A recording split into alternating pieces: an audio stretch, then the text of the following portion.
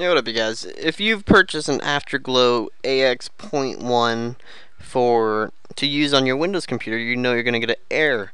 Um, I'm gonna show you guys how to fix this. Um, I'm gonna I uninstalled the driver, so let's hopefully I could redo it all for you guys without the issue. Let me try to shove it in. It sounded dirty. Uh, make sure it's all hooked up. I want to get the error for you guys. Um, you should be getting this. Let's see. Um, well, you should get saying it's not installed and then it's not going to work. You know, you might not get any messages about it. I should. I'm supposed to. La la la. Let's give it a couple seconds. I doubt I'm going to get anything. But I'm going to show you guys how to fix this issue uh, with a very simple fix. Um, I'll put all the links on the bottom. Do not worry. Um, so plug in your controller so you know you know it's not working. Uh, a good way to tell when it's working is if you know a Xbox 360 controller, it's uh, lit up on the what do you want to call it? The as you know controller one it'll light up. You'll see that little bright light. Um, simply same as this one. But I'm gonna show you guys how to simply fix this. So you're gonna want to go to Microsoft.com/hardware um, then you're going to want to go to download support, software for Microsoft game controllers and gaming mice and keyboards products. Uh, you're going to want to choose the product, which is a controller or type, and then choose your product. This is a controller for Windows. If it's a wireless, um, you're going to have to find out how to do it uh, another way because there's a lot of different things about it. Um, so controller for Windows, uh, operating system, you choose what yours is. Um, Mine's a Windows 7 64-bit. Uh, let me see if you could tell through here. Let's see. Manage. I don't know if you're supposed to click manage or not. We'll see. Come on, baby. Nope, wrong one. Uh, property. There we go. You can look here for any info. Of course, you would 100% hopefully know that you do have Windows 7. If you don't, you're dumb. Um, but anyways, then your operating system language, of course mine is English, because I speak English a little bit. What? Um, and here is the software that's available for your product. So we're going to download it. Um, save it. I already have it. Oh, I might have installed it already. I'll install it anyways. It might say it's already installed though. Let's see. Run. It's already installed. Okay, well it's installed after you're done installing it.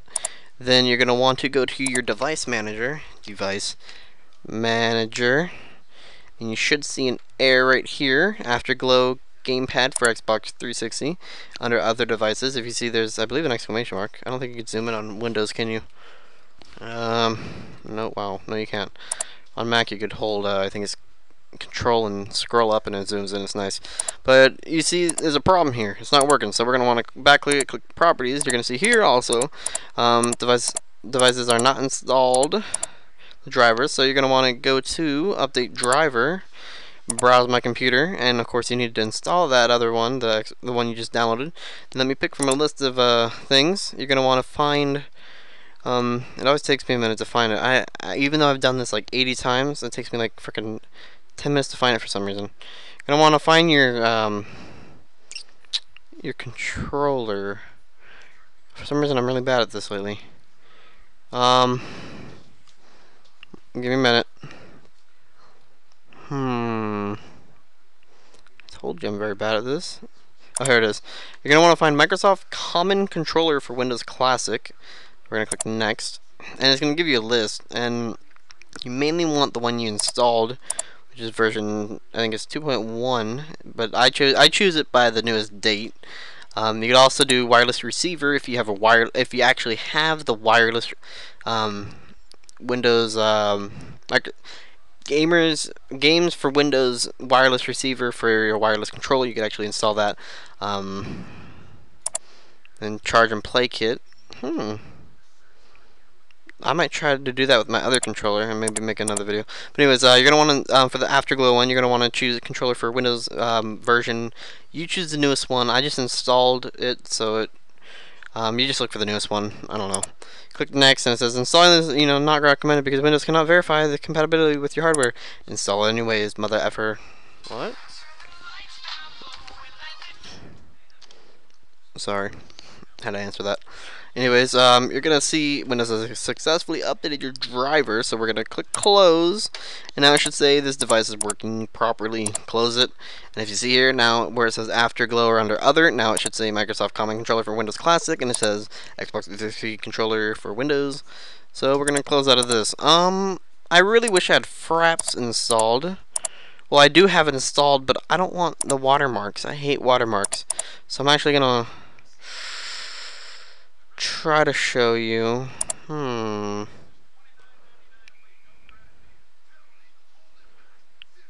But if you just look at your controller, obviously you should be able to just look at it. You should see a lit up controller. Let me see if this works. No, it doesn't.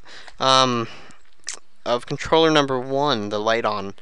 Um, I, I would confirm it with you, but I'm 100% guarantee it does work. Make sure you choose everything correctly, and then you would have a controller. Also, for me, I'm not sure if anyone else has this problem. I have an issue with um, Tom Clancy's Splinter Cell Conviction. I have to use the keyboard and mouse. For some reason, the I, I have to try it again. I reinstalled it because I recovered my computer. For some reason, it just like the controls are mis messed up really uh, like a lot. I'm not sure why, but it may have been an error that maybe is fixed now. I have to try it. I have to reinstall this uh, program. I'm having issues with it. So, yeah. Um, make sure you guys try this. It would work. If it doesn't work, I believe you have like 14 or 30 days to take back controller to GameStop. Um, doesn't work, then I don't know what to say, but this does work. So hopefully you guys find this helpful. Make sure you subscribe. Alright, everybody, peace out.